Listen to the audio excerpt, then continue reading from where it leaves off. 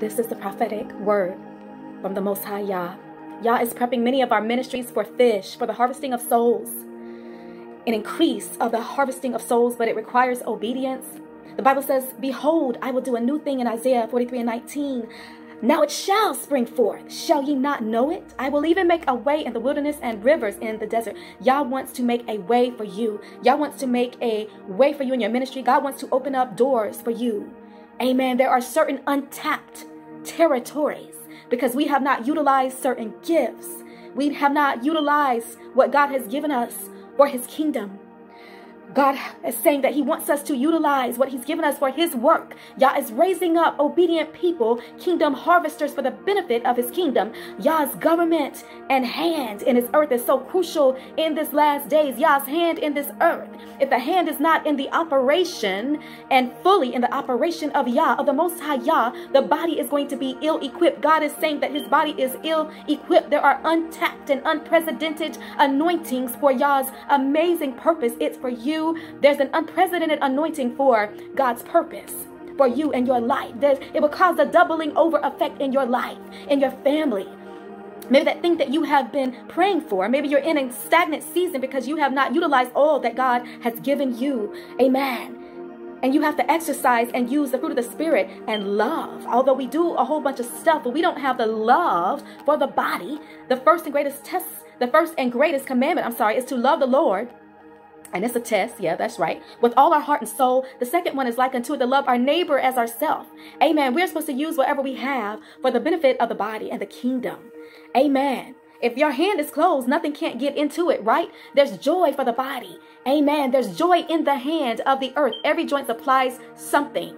Find Yah and find your purpose.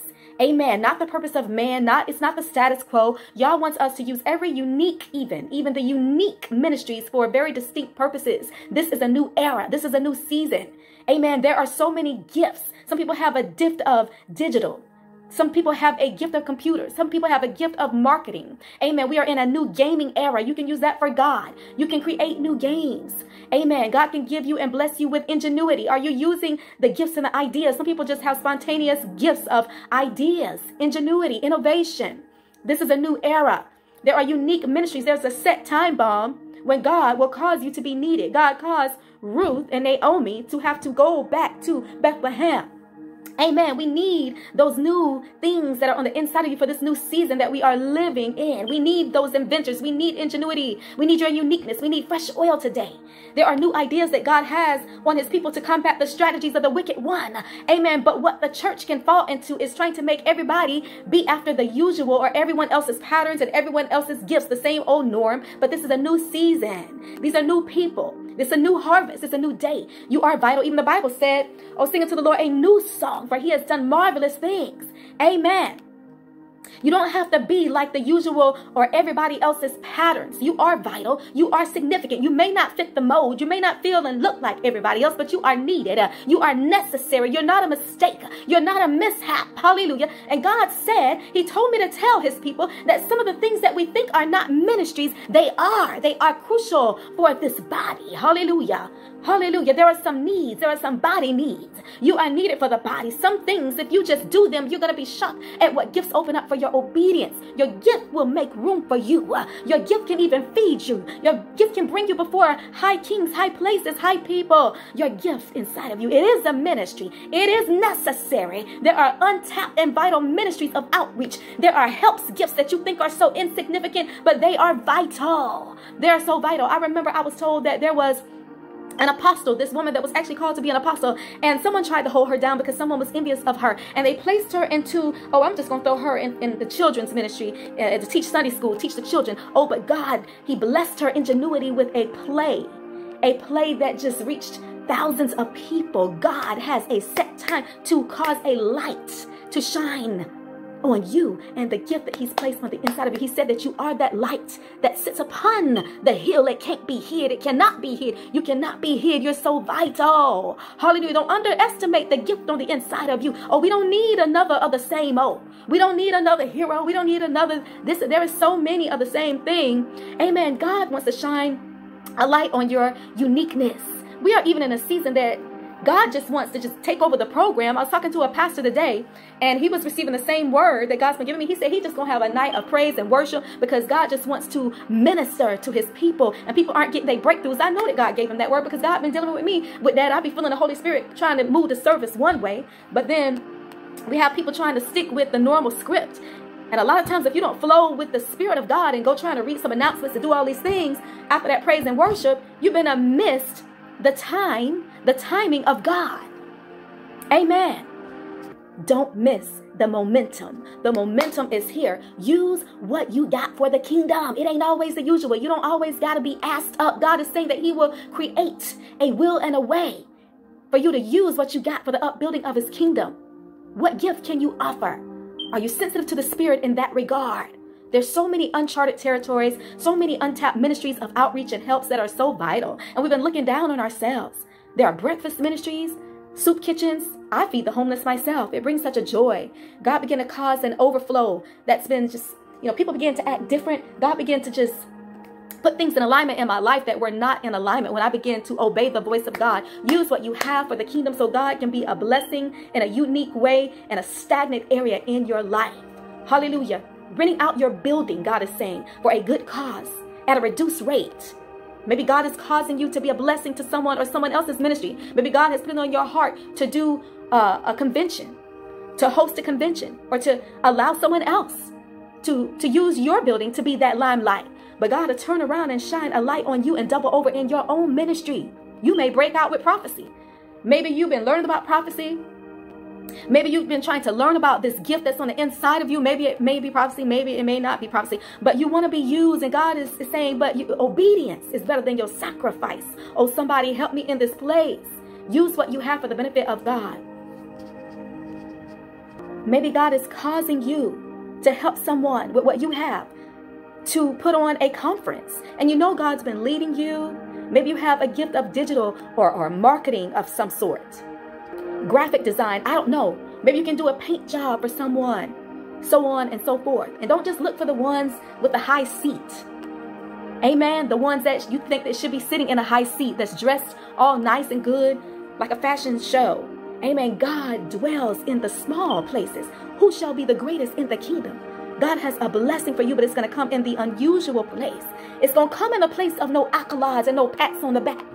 Amen. I wasn't the one that was up on Sunday, but I heard the voice of God. Hallelujah. You don't know who you may be talking to. You don't know who you may be dealing with. You don't know who know who. Oh, but God sees you. He got angels recording everything, and He's recording everything. Amen. He said this was a test to see what are we going to do with what He gave us. Mm-hmm. It is indeed a test. It is a test to see how you're going to use what God gave you. This is what He spoke to me. There are diverse and unique ministries. I heard retreats. He's caused us to have an area that can be used for a retreat. Amen. A retreat is a quiet or a secluded place. God has caused some of His people to be a host, even. Sometimes I didn't say all the time, but you know that God has placed that on your heart for your pastor or for some minister to be a blessing. Some of us have an overflow of resources that people could benefit. Uh, we have, I'm telling you, this is what I heard the Lord say. We might have some type of space, uh, maybe even the mother-in-law suite in the back. God is saying he's caused us to be a blessing to help others in ministry, even to relax, to rest and relax. Now I'm talking about the true people of God, the true ministers of God. Maybe God may be causing you or telling you to use your spot or use your vacation spot. Um, it may even be a condo.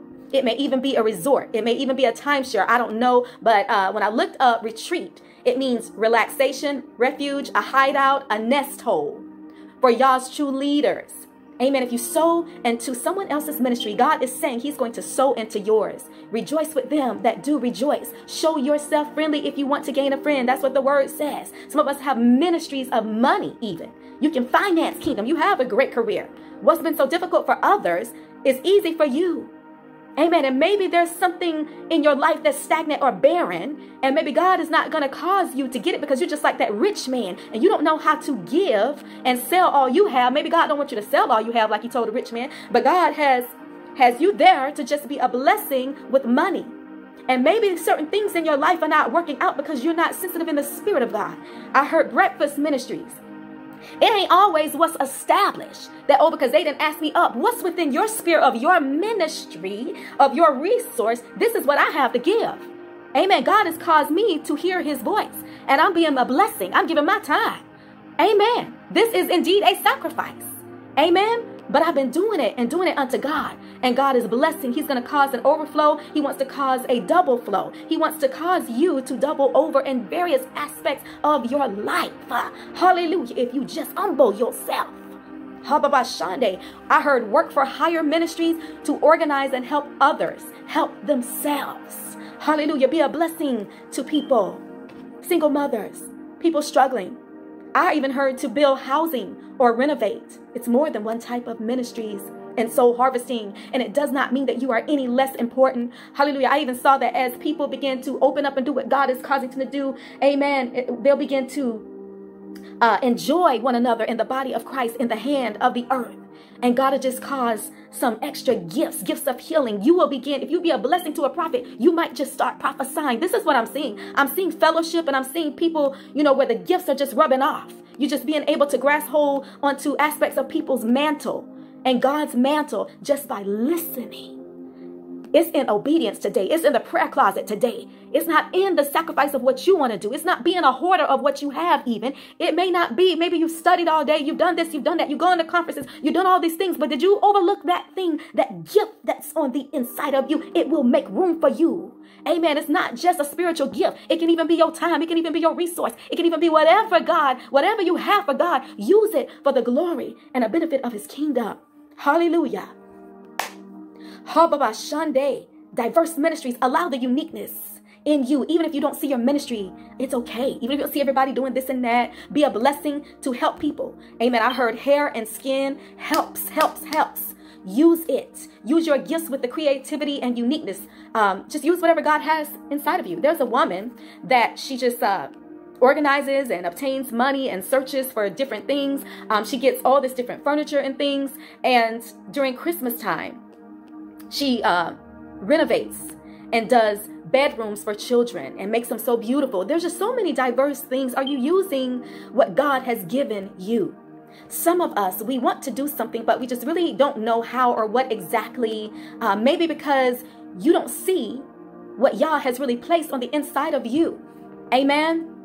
You don't see very many people doing it. What I meant to say was interior decorating. I'm sorry, but renovation is fine because we can use that too. Whatever you have, God is saying, get about my business and use it also for my kingdom. And that's what the Sabbath day is really for. You know, Jesus was doing ministry on the Sabbath. He was healing people on the Sabbath. He, he wasn't sitting down. You can also do stuff for Christ there's a, a trusting in the Lord to give up an hour. Some of us, we can't take the whole day off because we have certain careers that we can't take off on Sabbath. But the Bible lets us know there are certain scriptures that indicate that we can, you know, choose a day that's more convenient for us to trust God and take that time off for his will and his purpose. It's not always about just the meal. It's also, you can also use it for the servitude of Yah to do whatever God has, the idea that he's placed on the inside of you. Now, you don't have to do it on the Sabbath. I'm just recommending, I'm just letting you know that whatever you do for God, still, whether you, you uh, celebrating or honoring the Sabbath or not, it's still a sacrifice. And we have to trust God, you know, because if we're faithful over a few, he will make us rule over many. But just like we take time off on the Sabbath, like I could be working on certain days, I could be working day and night. I used to work so much.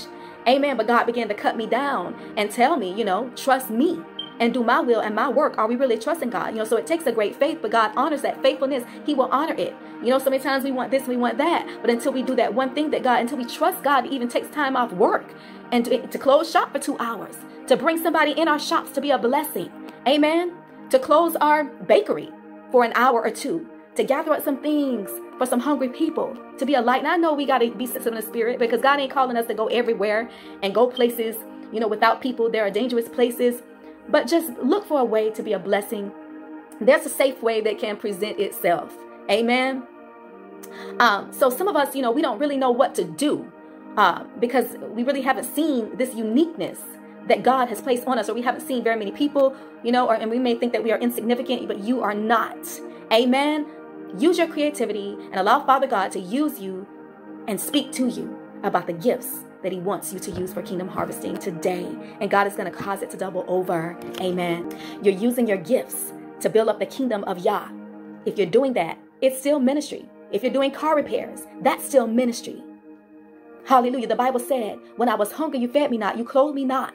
Amen. That was me. When you overlooked those people, that was me. Did you fulfill your purpose? Matthew, the 25th chapter and the 42nd verse. For I was hungry and you didn't feed me. I was thirsty and you didn't give me drink. I was a stranger and you didn't invite me into your home. I was naked and you didn't give me clothing. I was sick and in prison. You did not visit me.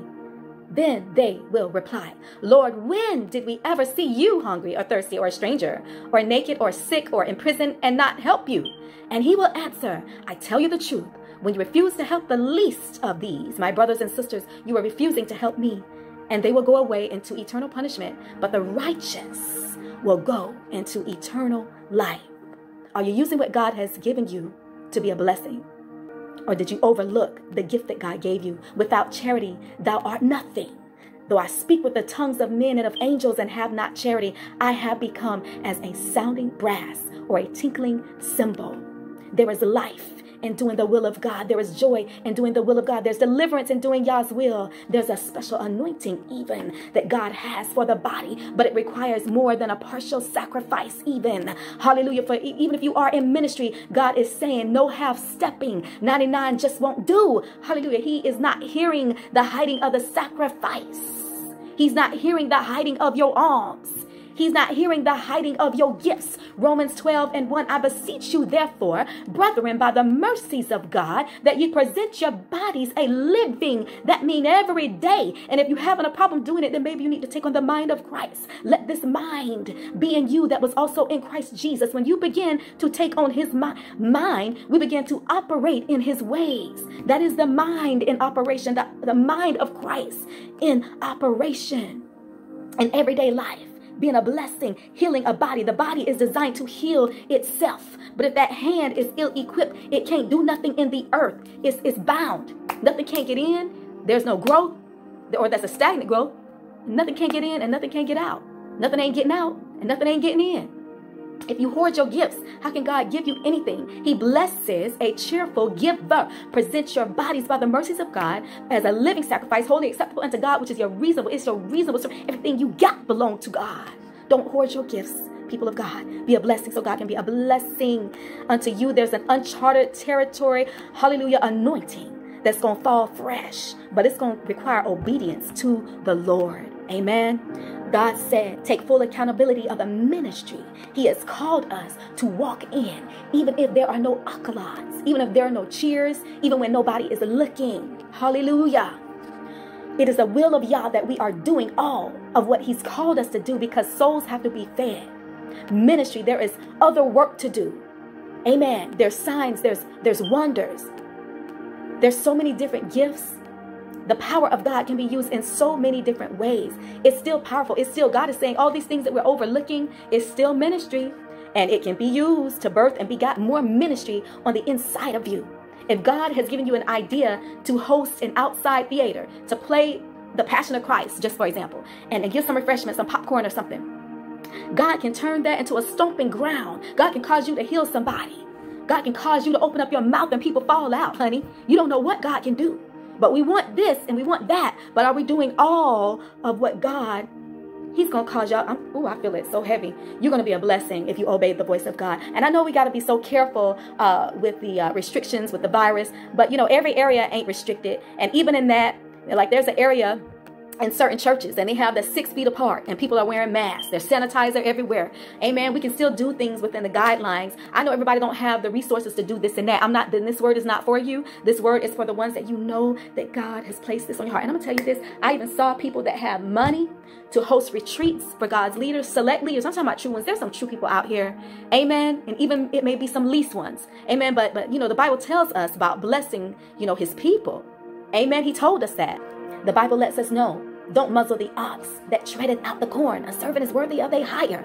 Don't hate on them. And you may not be married, but I even see that God wants to bless some people that want spouses. Maybe you don't have a spouse because you didn't host that retreat that God told you in that dream or that vision. Amen. There's going to be some more to this word, but I don't want to keep going on and on. I will continue this at another time. I love you all. Be blessed in the Lord. You're blessed and highly favored, and God wants to bless you some more. God has some wonderful things. He wants to give you more, more, more, more, more.